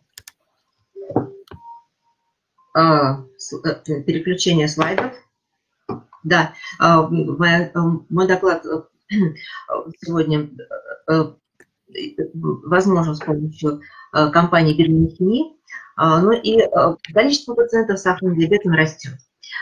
И надо сказать, что это не только пациенты с сахарным диабетом, это и пациенты с предиабетом. Потому что совсем недавно в России было проведено масштабное исследование – когда всем пациентам э, проводили исследование ликированного гемоглобина. И вот это исследование показало, что у пациентов, э, количество пациентов с самим ну, сахарным диабетом на самом деле и не, такая, а, и не такое большое. Видите, что это всего лишь навсего 5,5%. Но обратите внимание, какой большой процент людей оказался с предиабетом. То есть это люди, у которых есть небольшое повышение гликированного гемоглобина, но еще нет как такового сахарного диабета. И теперь обращаю ваше внимание, что все осложнения сахарного диабета, и в том числе диабетическая полиневропатия, может быть и у пациентов на стадии преддиабета, и мы это видим на практике. У меня есть пациенты э, с преддиабетом, э, у которого есть не только диабетическая полиневропатия, но и э, начальная диабетическая ретинопатия, и даже начальная нефропатия. Поэтому наш с вами сегодняшний разговор тем более актуален, когда у вашего пациента есть сахарный диабет или даже преддиабет, то всегда должны его скринировать на возможные а, осложнения. Вы видите, что вот до 30% пациентов а, с преддиабетом могут иметь диабетическую полиневропатию. И мы, когда встречаемся с пациентами с полиневропатией, всегда об этом помним. А, ну и, собственно, э, сама по себе диабетическая полиневропатия, что это такое? Это поражение периферических и автономных нервов, которые э, иннервируют внутренние органы у пациентов с сахарным диабетом.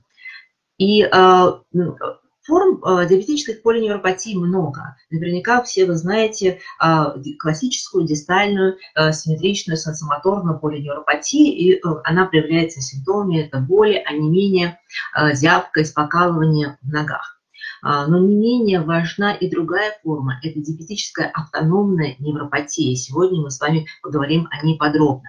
А, кроме этого, могут также поражаться и отдельные нервы на руках, на ногах или поражаться а, ну, отдельные сплетения. Э, чаще это пояснично-крестовое сплетение, которое приводит к интенсивным болям в ноге и вызывает некоторые сложности с э, дифференциальным диагнозом Э, люмбошалгии или радикулопатии. Но вам, уважаемые терапевты, я хочу рассказать об одной интересной форме диабетической полиневропатии. Это так называемая диабетическая торкоабдоминальная радикулоневропатия. Ну или, э, проще говоря, грудная радикулопатия. Что это такое? К вам на прием приходит пациент, страдающий сахарным диабетом, и жалуется на боли в правом подреберье. Ну, наверняка вы подумайте о возможном холецистите или э, заболеваниях печени. И действительно а, были такие случаи, когда таким пациентам проводили даже диагностические а, лапароскопии. Однако на самом деле никакой патологии внутренних органов у этих пациентов нет. У них есть поражение Э, грудного, не, ну, именно э, грудного нервного корешка, который иннервирует эту вот область правого подреберья. И здесь э, это сопровождается болью. Боль это по характеру невропатическая, то есть она связана с повреждением нервной ткани. Как правило, она жгучая, колющая, стреляющая. Это уже такие для вас маркеры поражения нервной системы. А, и при сопутствующем поражений и двигательных волокон могут даже возникать вот такие вот абдоминальные грыжи или вот выпячивание передней брюшной стенки.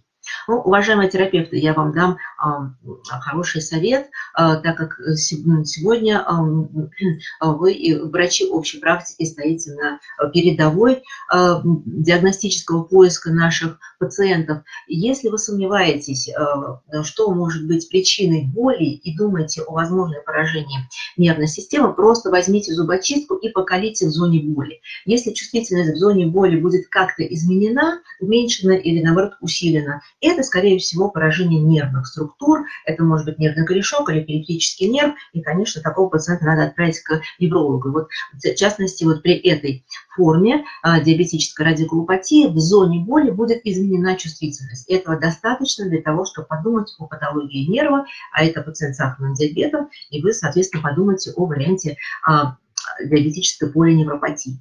Но сегодня я бы с вами хотела поговорить о другой форме диабетической полиневропатии, потому что ваша роль в диагностике этой формы как нельзя более важна. А, это диабетическая автономная невропатия.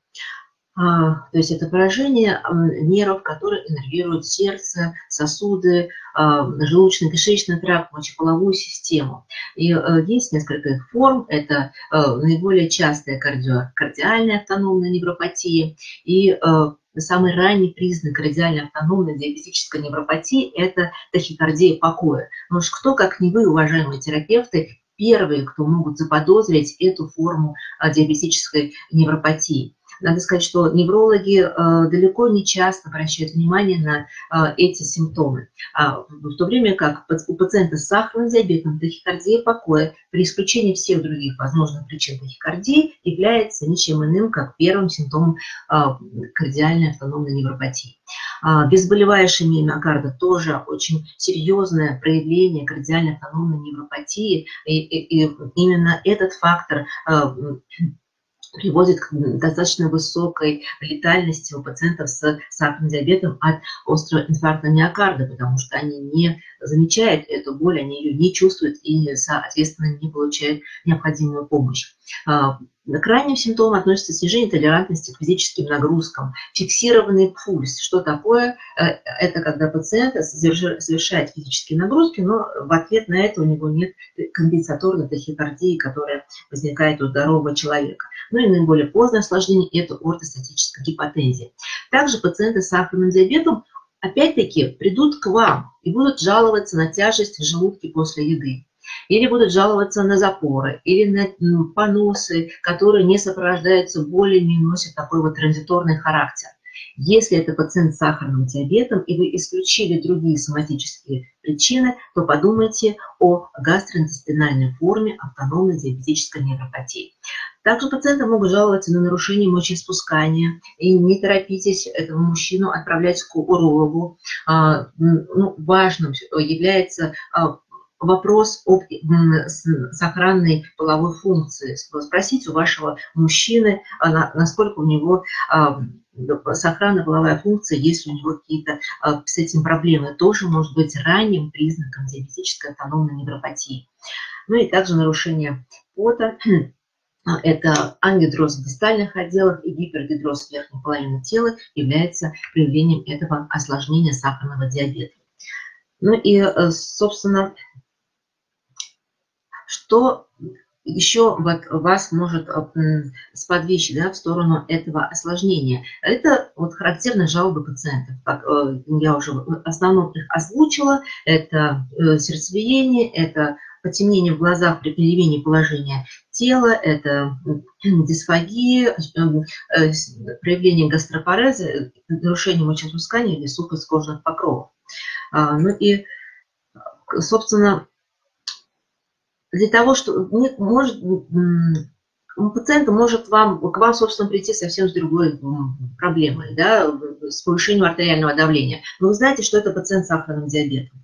И поэтому э, я призываю вас э, к э, скринированию такого пациента на возможное наличие у него кардиальной автономной невропатии. Задайте ему несколько вопросов. Да, есть у него такие вот приходящие обмороки или э, э, быстрая утомляемость э, при физической нагрузке или какие-то нарушения э, мочеиспускания или вот э, со стороны, проблемы со стороны желудочно-кишечного тракта. И вот такие наводящие вопросы тоже вам помогут вовремя поставить диагноз. Ортостатическая гипотензия – это, конечно же, поздное осложнение а, и проявление кардиальной автономной невропатии. Но наверняка такие пациенты тоже вам хорошо знакомы. Это люди, а, которые э, с сахарным диабетом, ну, как правило, уже длительно текущим сахарным диабетом, как первого, так и второго типа, которые к вам жалуются на головокружение.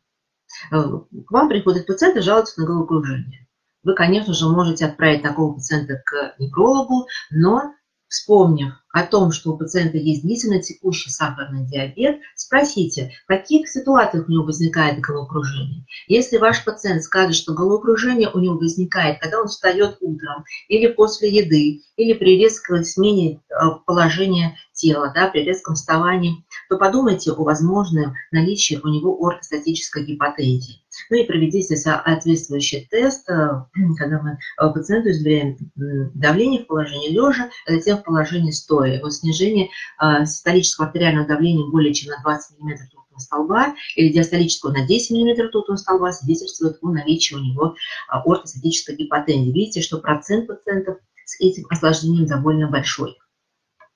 А, собственно, Обращаю ваше внимание на то, что наличие а, артериальной гипертензии у пациентов с сахарным диабетом в разы увеличивает частоту развития кардиальной автономной невропатии.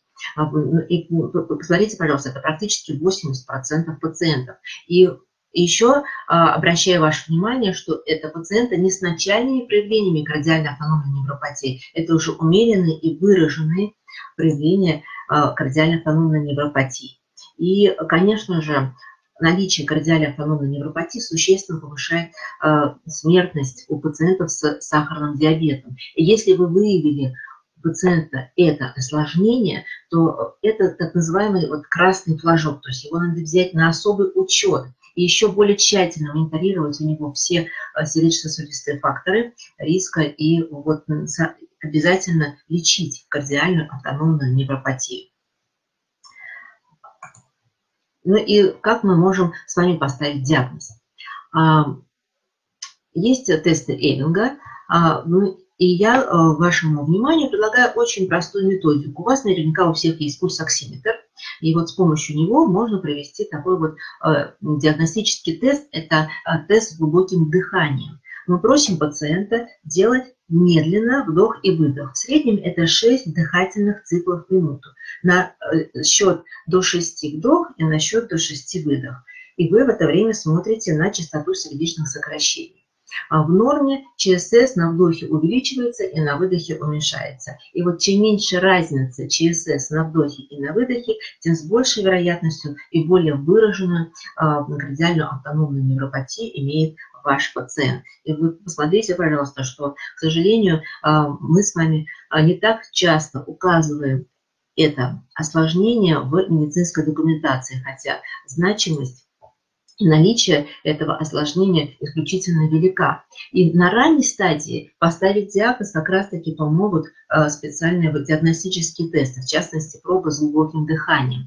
Потому что на, вот диабетическая кардиальная автономная невропатия, она тем и коварна, что она очень долго течет бессимптомно.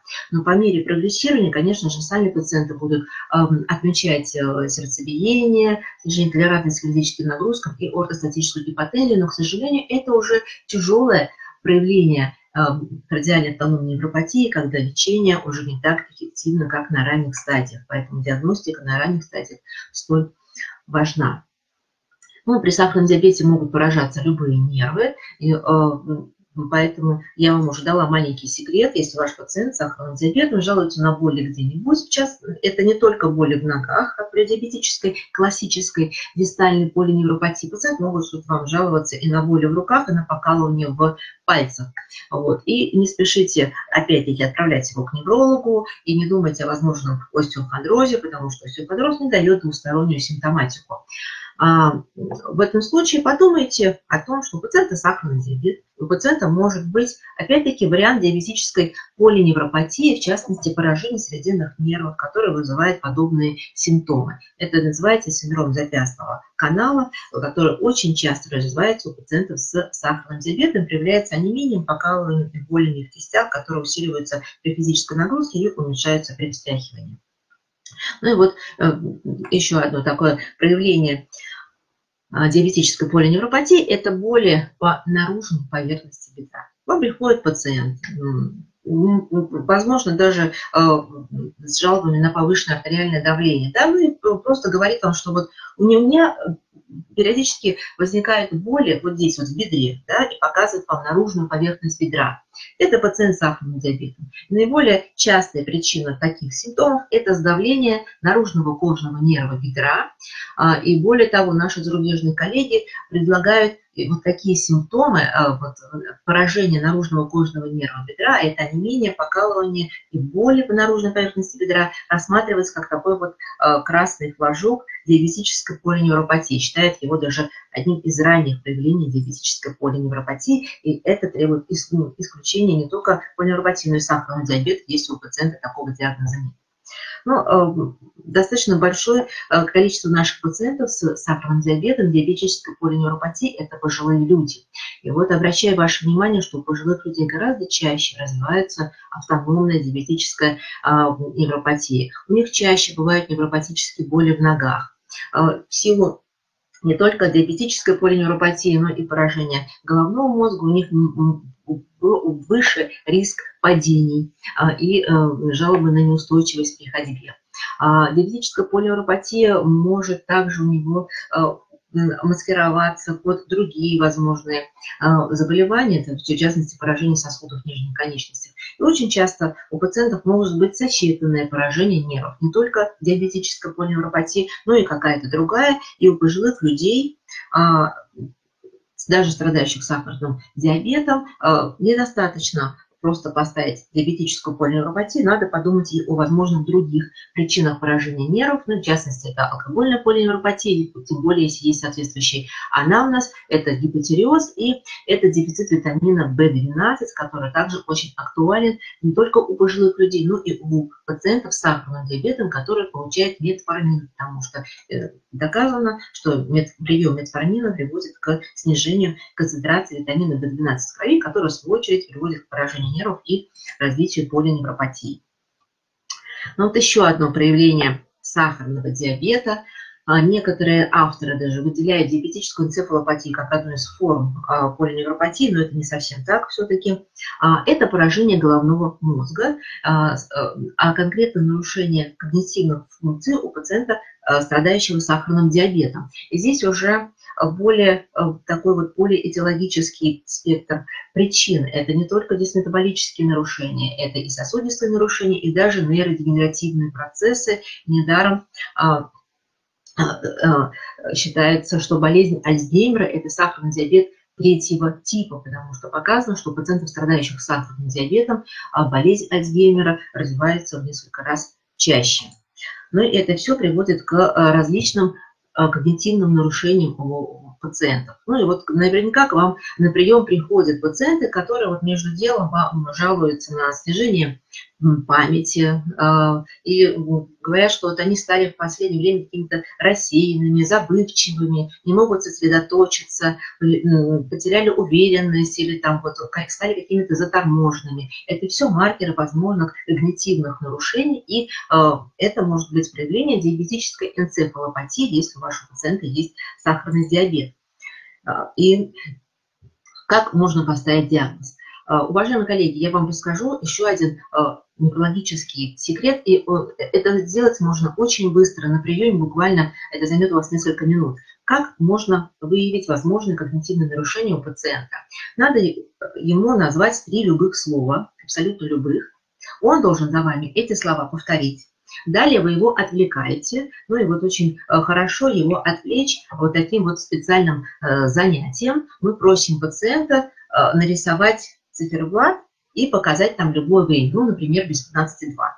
А, а, ваш пациент выполняет это задание, вы оцениваете, насколько хорошо он выполнил. Вот здесь как раз-таки представлен пример пациента с а, такими э, умеренными когнитивными нарушениями. И после этого вы опять его спрашиваете три слова, которые вы с ним повторили до этого. И если пациент имеет какие-то сложности или с рисованием часов, или не может вспомнить а, одно из трех слов, то это очень такой важный симптом наличия когнитивных нарушений у него, и э, в данном случае, конечно же, это тоже требует терапии. Ну и э, вы можете сказать, ну, у пациента наверняка есть артериальная гипертензия да, он, э, имея артериальную гипертензию, даже при наличии сахарного диабета, и так будет иметь когнитивные нарушения. Причем тут сахарный диабет? Как мы можем э, доказать, что именно сахарный диабет приводит к когнитивной дисфункции? А очень просто. Такие исследования проводились на нашей кафедре, когда сравнивались когнитивные функции у пациентов с сахарным диабетом без серьезных сердечно-сосудистых факторов риска и у, у пациентов с э, различными э, сердечно-сосудистыми заболеваниями. Вот когнитивные функции у этих двух групп были сопоставимые, поэтому мы говорим о сахарном диабете как о независимом факторе риска развития когнитивных нарушений. Диабетическая полинeuропатия э, лечится следующими основными направлениями. Первое и самое главное, конечно же, это контроль уровня глюкозы в крови, это патогенетическая терапия, симптоматическая терапия, если у пациента есть э, кардиальная автономная невропатия, выраженная ортостатическая гипотензия или э, болевой синдром и профилактика осложнений. А, ну и, к сожалению, э, контроль уровня глюкозы в крови доказано снижает риск развития диабетической полиневропатии только у пациентов с сахарным диабетом первого типа. Все мультицентровые исследования среди пациентов с сахарным диабетом второго типа, когда проводился интенсивный уровень глюкозы, контроль уровня глюкозы в крови, к сожалению, показал фиаско, то есть контроль уровня глюкозы был жесткий, тем не менее э, диабетическая полиневропатия продолжала прогрессировать. И поэтому, конечно же, тем более актуальным становятся вопросы патогенетической терапии. И э, на сегодняшний день наверняка вам известно, что э, препаратом, э, патогенетическим препаратом для лечения диабетической полиневропатии с доказанной эффективностью является теоктовая кислота, а, которая является антиоксидантом, потому что именно окислительный стресс это основной э, патогенетический механизм повреждения периферических нервов у пациентов с сахарным диабетом. Ну и э, поэтому он здесь э, инактивирует свободные радикалы, и кроме этого он и нормализует энергетический обмен в клетках и восстанавливает акциональный транспорт. То есть здесь мы не только подавляем вот сами механизмы развития диабетической полинeuropатии, но и восстанавливаем функцию поврежденных нервов. А, и Эффективность теоктовой кислоты на сегодняшний день а, не вызывает никаких сомнений, потому что было проведено много двойных слепых плацебо-контролируемых исследований а, с включением как внутривенных, так и таблетированных форм препарата, и даже один метаанализ, который показал, что внутривенное введение препарата в течение 15 дней достоверно приводит к уменьшению проявления диабетической полиневропатии и улучшению неврологических функций а, периферических нервов. А, и поэтому, собственно, диоктовая кислота э, имеет высокий уровень доказательности, это уровень доказательности А, лечение диабетической полиневропатии. Но и что очень важно, что диоктовая кислота также приводит к уменьшению проявлений кардиальной автономной невропатии. Это показало исследование Декан, когда пациенты принимали перорально 800 мг теплой кислоты в сутки, и это приводило к достоверному улучшению вариабельности сердечного ритма у пациентов. Но я еще раз обращу ваше внимание, что чем раньше мы начинаем терапию, тем больше э, вероятностью мы получим положительный эффект, поэтому так важна ранняя диагностика. А, ну и эм, также кислота входит и в стандарты первичной э, помощи э, при лечении диабетической полиневропатии в амбулаторной практике. Очень достойным представителем теплых кислот является биролитион. Это немецкий препарат, качество и эффективность которого а, были проверены временем, а, он уже давно на российском рынке. Этот препарат имеет как инъекционные формы, так и пероральные формы. И обращаю ваше внимание, что всегда возникает вопрос, как долго принимать теоктовые кислоты. И вот есть на сегодняшний день а, мультицентровые исследования продолжительностью 2 и 4 года. Пациенты принимали 600 мг теплых кислот каждый день. И надо сказать, что это было достаточно безопасно, потому что никаких значимых побочных эффектов при студенческом приеме у пациентов отмечено не было. А наоборот, был отметен позитивный эффект в виде уменьшения развития неврологических симптомов. Поэтому биролитион а, мы назначаем кому? Всем пациентам с диабетической полиневропатией, и с болевыми, и с безболевыми формами. И не забываем здесь и о пациентах а, на стадии преддиабета, у которых есть те или иные проявления а, поражения нервов. И э, чем раньше мы начнем лечение, тем лучше. Форма препарата зависит от э, стадии диабетической полиневропатии. Допустим, к вам э, пришел пациент с, не, с небольшим стажем сахарного диабета, у которого есть легкое онемение, покалывание, переходящее в ногах. Э, вы можете такому пациенту э, назначить препарат Перос. Но если его стаж уже Э, значительный, и тем более, если вы у него выявили признаки кардиальной автономной невропатии, в таких случаях, конечно же, лучше провести э, курс внутривенного введения биролитиона в течение 10-15 дней, тем более, что если у пациента есть проявление кардиальной автономной невропатии, скорее всего, у него и вовлечен в той или иной степени желудочно-кишечный тракт, это приводит к нарушению всасывания препарата в кишечнике, поэтому тем более э, здесь актуально внутривенное введение препарата. Ну и после внутривенного введения мы обязательно назначаем препарат ПРОС в течение минимум двух месяцев, потому что это позволяет закрепить э, диагностический эффект. Ну и э, как результат это приводит к уменьшению болевого э, синдрома и к проявлению, а, уменьшению проявления диабетической автономной невропатии. Но что делать, если у пациента есть боли в ногах? Как я уже сказала, боли в ногах тоже уменьшаются на фоне Э, приема дратиона и как э, в внутривенном введении, так и приема препарата Пероз. Но э, если эффекта теплых кислот недостаточно, тогда у нас есть классическая неврологическая схема рекомендательная, какие мы назначаем препараты для уменьшения таких вот невропатических болей. Что это такое? Это жжение, покалывание, стреляющие боли, а, при которых не помогают нестероидные противовоспалительные препараты. Поэтому, пожалуйста, дифференцируйте. Боль сама по себе очень гетерогенна. Если пациент с сахарным диабетом, со жгучими болями в стопах, то вы можете рассмотреть назначение антиконвульсантов, это э, габапентин или пригабалин, но наши пациенты пожилые люди, э, они очень тяжело переносят эту группу э, препаратов, поэтому возьмите на заметку более безопасный вариант лечения невропатических болей – это 5% пластырь с лидокаином Пирсатис. И особенно актуальным его назначение э, является как раз-таки при поражении грудных эм, корешков, о которых я вам рассказывала, или э, при поражении наружного кожного нерва бедра, когда боль на поверхности, и ну, видно, что наклеивание этого пластыря существенно уменьшит боль и позволит избежать э, побочных эффектов которые могут быть при назначении антиконвульсантов и антидепрессантов.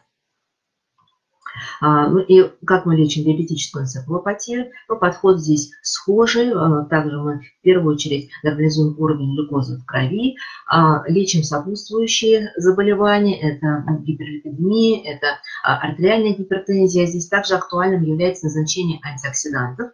Ну и здесь все-таки диабетическая энцефалопатия имеет в одном, э, как один из э, патогенетических факторов нарушения микроциркуляции, поэтому здесь актуальным является и э, вот воздействие на этот фактор, в частности, с применением препарата курантил. Если у пациента выраженные когнитивные нарушения, то мы можем рассмотреть назначение надробных препаратов или специфических препаратов, в частности, ингибиторов НМДА-рецепторов. По необходимости также таким пациентам можно назначить и анксиолитики, и антидепрессанты. Но вот для улучшения микроциркуляции а, возможно применение курантила. Это антиагрегант и вазодилататор. А, и он тоже имеет достаточно широкий спектр э, терапевтических эффектов. Он и приводит к, а, и как, а, работает как антиагрегат, улучшает микроциркуляцию, э, улучшает э, э, реологию крови, приводит к расширению сосудов, нормализует венозный отток, и также он увеличивает и биодоступность оксидоазота в тканях, собственно, очень даже логично смотрится в картине лечения диабетической энцефалопатии. Ну и как раз-таки эффект курантила был показан у пациентов с дистрофикаторной энцефалопатии, а, принимали пациенты курантила а, по 75 мг три раза в день в течение двух месяцев, и на фоне лечения у пациентов отмечались уменьшение таких симптомов, как головные боли, двигательные и психоневрологические расстройства. Вообще курантил очень интересный препарат. А, у него наряду с его антиагрегатными свойствами, оказывается, еще есть иммуномодулирующие свойства. А, а, ну и мы о них тоже с вами поговорим. Если говорить о лечении диабетической энцефалопатии, то схема здесь такая. По одной таблетке 75 мг курантила мы назначаем три раза в день ну, в течение двух месяцев. А при необходимости доза может быть увеличена до двух таблеток э, три раза в день. Ну и вот э, я уже начала вам рассказ а, про э, широкий спектр а, воздействия курантива на наш организм. Вот, и он, оказывается, стимулирует синтез интерферонов. И э, если вы смотрели его инструкцию, да, то, возможно, вас э, несколько удивило. Одно из показаний этого препарата – это профилактика ОРВИ в период эпидемии, то есть он, оказывается, повышает неспецифическую резистентность организма к острой респираторной вирусной инфекции. Ну и сейчас, конечно же, эта тема особенно актуальна. А, ну и вот в э, частности в исследовании было показано, что у пациентов, с, эм, это пожилые люди с сердечно-сосудистыми факторами риска, у которых заведомо было снижение выработки интерферона, а вот на, на, при, применение курантила в дозе всего лишь навсего 50 миллиграмм один раз в неделю, а, оказывается, приводило к повышению выработки интерферона. И это на самом деле здесь э, очень много хороших моментов. Первое, что такая маленькая доза курантила, потому что наши пациенты так пьют гигантское количество таблеток, а для того, чтобы э, организовать профилактику УРВИ, а, особенно э, в период эпидемии, оказывается, достаточно выпить всего лишь 50 миллиграмм один раз, в день, один раз в течение одной недели. Ну, то есть 50 миллиграмм в течение 7 дней, один раз в неделю. Это в течение 4-5 недель. Но э, если речь идет о часто болеющих людях, то тогда доза может быть увеличена до 100 миллиграмм. А здесь пациенты принимают по две таблетки, через два часа еще две таблетки. И э, также это делается один раз в неделю, но здесь продолжительность терапии может быть увеличена до 2-2,5 месяцев. Препарат принимают утром натощак. Ну и Конечно же, вы можете э, взять это себе на заметку, и, к сожалению, э, я не зря сейчас э, вспомнила об иммуномодулирующих свойствах курантила, потому что, конечно же, у каждого из нас есть доминанта, которая называется COVID-19, вот, и я, готовясь к сегодняшней встрече с вами, посмотрела литературу, и в частности, есть несколько публикаций, которые позволяют выделить некоторые моменты у пациентов, страдающих сахарным диабетом и которые были э, инфицированы COVID-19. Что же э, можно здесь отметить? Ну, вы уже знаете, хорошо знаете, что наличие сахарного диабета сопряжено с более тяжелым течением вирусной инфекции и повышенной смертностью. Но вот здесь э, даже авторы выделяют э, основные патофизиологические механизмы, которые этому способствуют. Это повышение активности свертывающей системы у э, пациентов и э, нарушение иммунного ответа, а также обсуждает возможное прямое повреждение поджелудочной железы э, SARS-CoV-2. А, в литературе э, вот, на сегодняшний день не доказана целесообразность отмены ингибиторов АПФ и блокаторов ангиотенсина-2 у пациентов а, с а, сахарным диабетом, которые были инфицированы COVID-19. И, конечно же, подчеркивается необходимость еще более строгого контроля лейкемии у этой категории больных. Ну и вот, наверное, такое вот свойство антиагреганта и противовирусного препарата у передомола даже вот а, вдохновило наших китайских коллег к а, применению диперидомола у пациентов с COVID-19. Вот, в частности, есть публикация эффективности диперидомола у 12 пациентов с COVID-19, а, который был назначен диперидомол в дозе 50 мг 3 раза в день также им проводилась и другая терапия, это и противовирусные препараты, а, гормоны, антибиотики. И вот у этой, эти пациенты сравнивались с группой контроля, а, пациенты, которые принимали диперидомол. И вот у, у этих пациентов было отмечено снижение уровня D-димера и повышение количества тромбоцитов и лимфоцитов достоверно по сравнению с группой контроля. И э, было вообще так вот отмечено, что э, скорее всего, диперидомол привел даже к более легкому течению инфекции, потому что вот э, три пациента из тяжелых э, имели хороший терапевтический эффект, а четыре пациента, которые имели э, легкую э, вирусную пневмонии полностью излечились и были выписаны. Поэтому авторы даже вот предлагают рассматривать диперитомол а, а, и э, как возможный дополнительный препарат в лечении COVID-19, но, конечно же, это требует дальнейших исследований и наблюдений. Уважаемые коллеги, а, мы сегодня с вами поговорили о многообразных проявлениях поражение нервной системы пациентов с сахарным диабетом. И обращаю ваше внимание еще раз, что это могут быть пациенты с предиабетом. Вот. И чтобы я еще раз э, хотела вам напомнить, э, что э, диагностика диабетической полиневропатии достаточно простая. В принципе, ваши пациенты просто вам могут пожаловаться на те или иные симптомы покалывания, а не менее боли в ногах или в руках или где-то еще, э, в грудной клетке или в наружной поверхности бедра. Обязательно э, у этих пациентов нужно проводить скрининг а, и а, кардиоваскулярные тесты на возможное выявление у них а, кардиально-автономной невропатии. А, спросите хотя бы, есть ли какие-то у них проблемы с когнитивной функцией. Если вам пациенты скажут «да», то вот приведите ему один из диагностических тестов, который я вам предложила, Миникоп. Конечно же, мы оцениваем у них и другие сердечно-сосудистые факторы риска. Эти пациенты, когда вы у них выявили любое осложнение сахарного диабета требует назначения патогенетической терапии, это перелесион, внутривенный или пироз.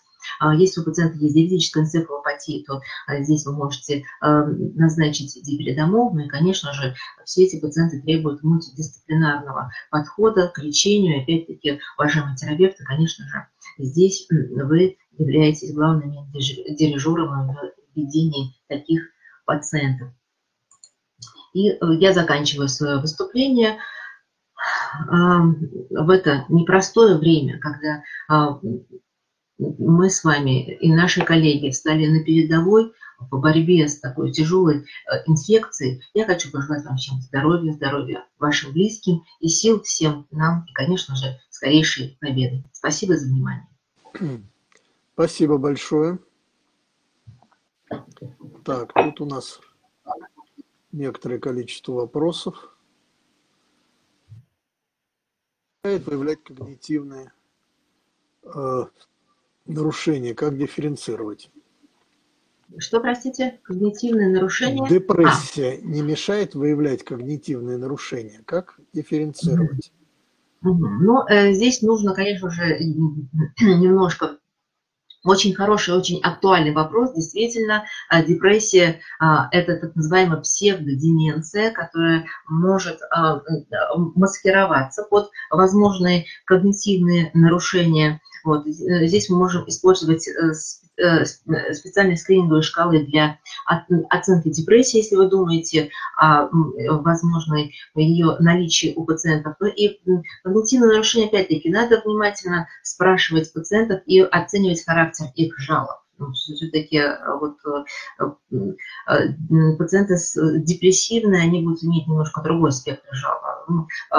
При когнитивных нарушениях э, у пациентов с, вот, с сахарным диабетом, у них, как правило, легкие и умеренные когнитивные нарушения, когда пациенты, как правило, сами будут вам обращать э, внимание и жаловаться на снижение памяти, на, э, на рассеянность внимания, да, и вот это вот, вот эти вот маркеры основные, они как раз вам и подскажут все-таки на возможное наличие именно когнитивных нарушений. Ну, насколько я знаю, для того, чтобы поставить диагноз когнитивных нарушений, обязательно – оценивается наличие у пациента депрессии. А это, это все... исключение, конечно же. Ис... Э, Потому что это очень рука об руку все идет, и очень трудно бывает разобраться. Поэтому mm-hmm. это правильный вопрос, но ну, как дифференцировать, это, наверное, к специалисту уже больше, чем ну, к врачу общую практику. Э, здесь, конечно же, нужно применять специальные шкалы, э, шкалы оценки депрессии и более расширенное нейропсихологическое тестирование, которое э, позволит оценить и, и наличие, и степень когнитивных нарушений. Но это у нас на базе нашей клиники, клиники нервных болезней Первого Московского медицинского университета есть лаборатория памяти и специалисты, которые этими вопросами занимаются. Поэтому можете присылать такие пациенты к нам. Ну, в общем, мы две недели назад разбирали как раз проблему депрессии, поэтому можно посмотреть этот семинар, вебинар. Там довольно подробно говорилось о том, как ставится диагноз, где ставится диагноз. Если это действительно кого-то так впрямую интересует, можно найти в выложенном э, вебинаре.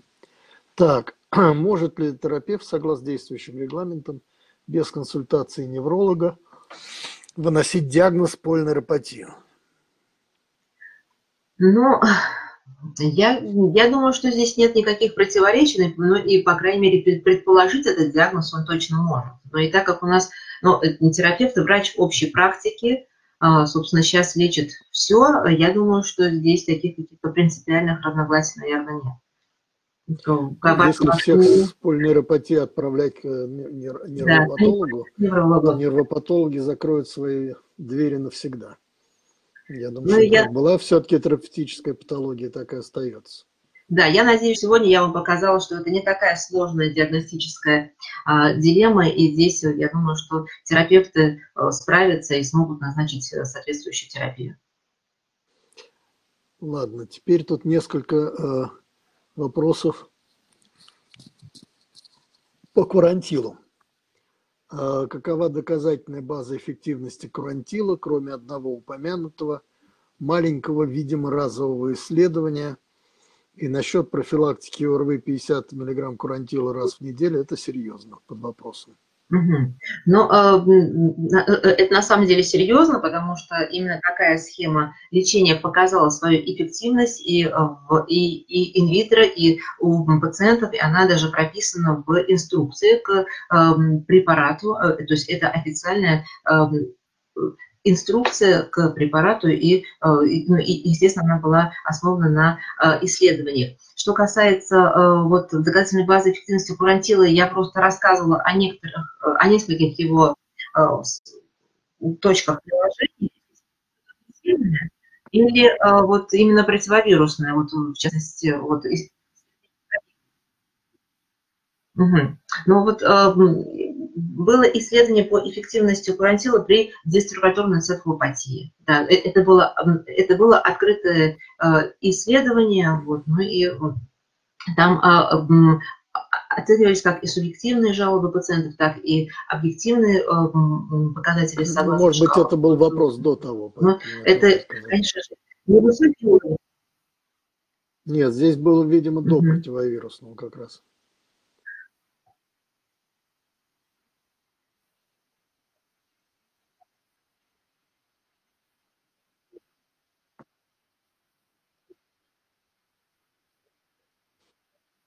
Да, к сожалению.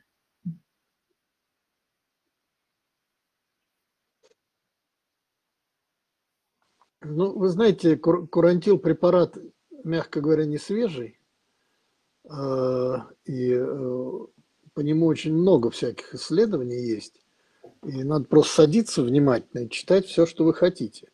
А, потому что э, там есть ну, хорошие доказательства, есть не очень хорошие доказательства. Я думаю, да. Но, что лучше да, ну, исследование – это ваш собственный клинический опыт. Что... Вот, поэтому возьмите Никто... на заметку, ну, попробуйте, и у вас будет э, личное мнение говорит, об этом препарате. Решает все проблемы медицины разом. Но, тем не менее, препарат остается интересным, несмотря на то, что действительно ему 40 лет в обед. Так, что-то Светлана Левченко, плацебо тоже работает, я поняла, спасибо. Ну, здесь, здесь, э, здесь, здесь имеется в виду исследование как раз-таки по э, оценке эффективности курантила. Ну, поэтому ну, хорошо. Здесь То есть понятно, посмотреть, но... это именно когда была доказана эффективность да, диберидомола в большом э, масштабном мультицентровом исследовании. Поэтому можно посмотреть его результаты и получить желаемый уровень доказательности. Насколько я знаю, исследование ESPS-2. А дальше что-то непонятно. То есть ничего нет. Не знаю, вопрос какой-то ни, ни о чем.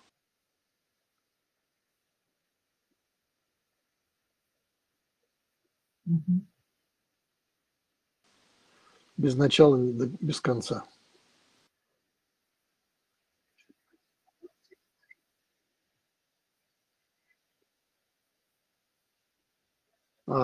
Доказана эффективность диперидомола.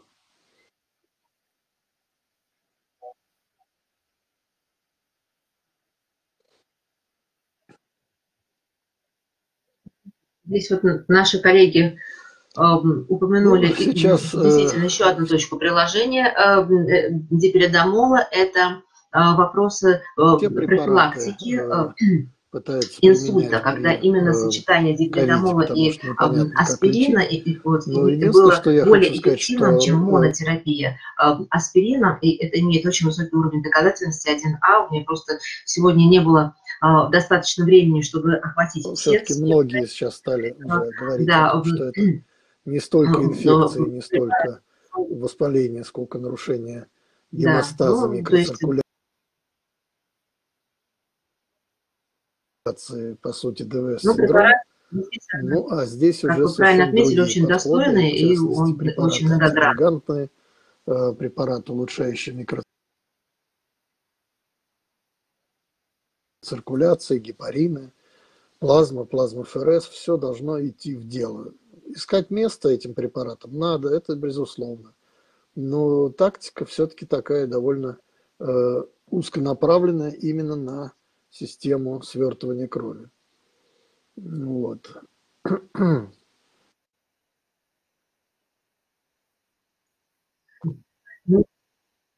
Да.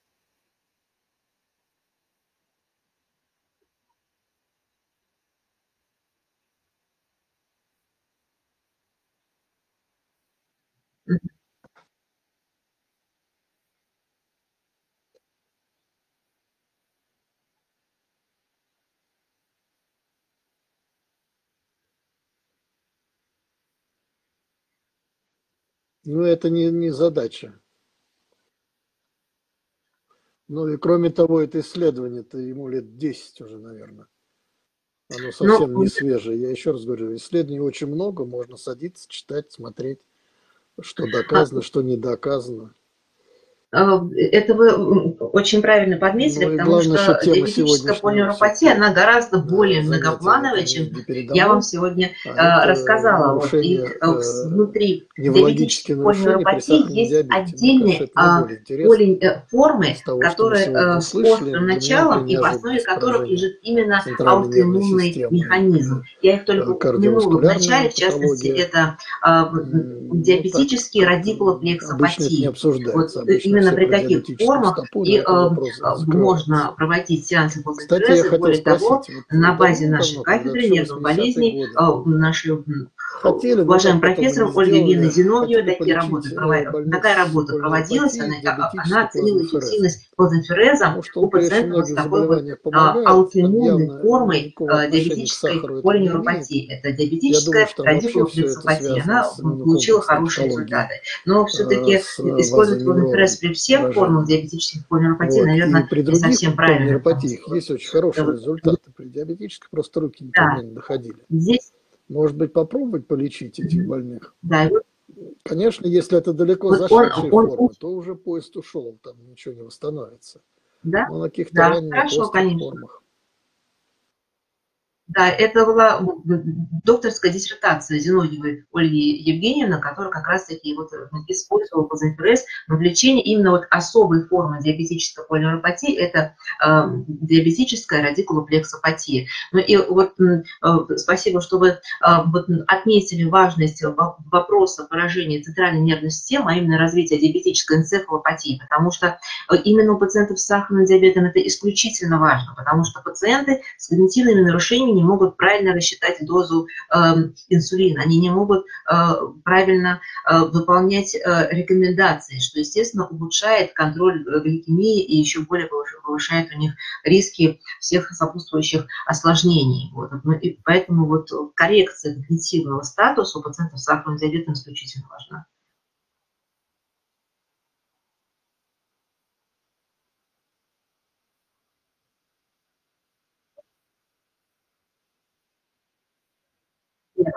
Да, Все при всем вообще никто не использует. да, Естественно, сахар, мы находим какие-то показания, какие-то формы. Но просто сам подход, мне кажется, Да. важен. Хотелось бы с этой статьей, если можно, ее прислать. Ваши координаты теперь есть наши все, да? Скиньте на нее ссылочку, потому что было бы очень интересно.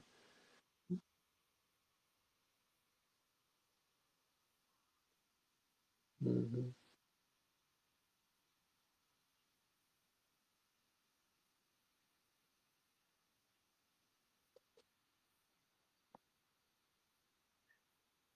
Да.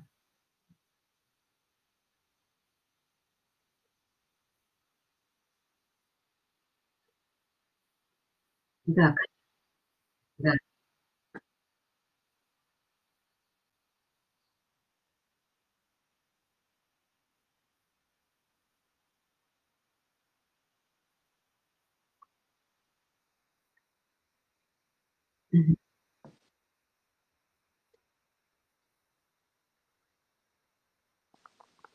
Ну да, но еще вы очень хорошую э, вбросили, так сказать, Да, информацию, но что там немножко другие механизмы, сахара в крови конечно. не влияет на уровень, на Да, но там антитела в крови, а в нервной системы.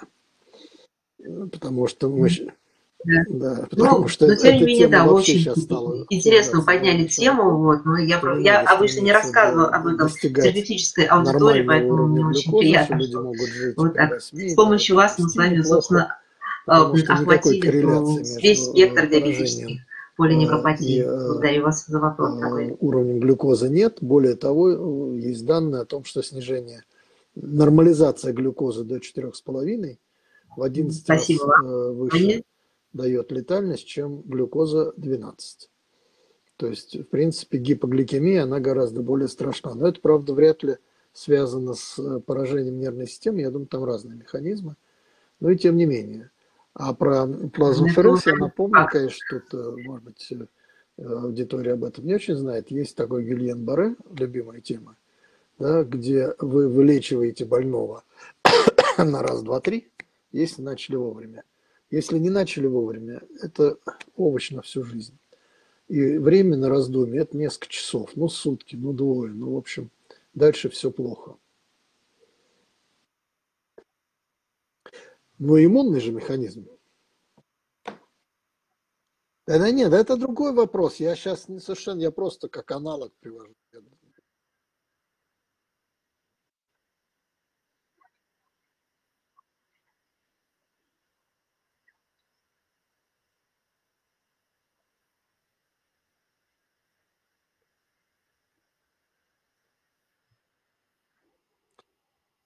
Так, ну я так смотрю, что больше вопросов у нас нет. Да, тогда мы будем сегодня заканчивать. Спасибо большое. Э, да. Э, Значит, я не знаю, будет ли у нас 22-го заседания. Э, Пока непонятно. Мы его снимали, потому что 22-го должна была быть, э, должно было быть голосование по Конституции, но оно, видимо, не состоится. Вот, ну, вот, ну, ну, посмотрим. Может быть, сделаем, может быть, не сделаем. Второе, значит, сегодня, наконец, удалось расшифровать э, вебинар по ковиду, который я делал в прошлый четверг. Почти неделя ушла на то, чтобы его превратить в удобоваримый вид, и можно было его сегодня выложить. Значит, э, ищите, смотрите, мы будем рассылать, естественно, всем. Он длинный, три часа, два часа лекции, час ответов на вопросы. Очень много э, тем обсуждается, и социальные, и карантинные, и так далее. У меня взгляд на это на все очень критичный. Э, И я пытался, конечно, обосновать свои позиции, свои подходы. Спасибо. До свидания.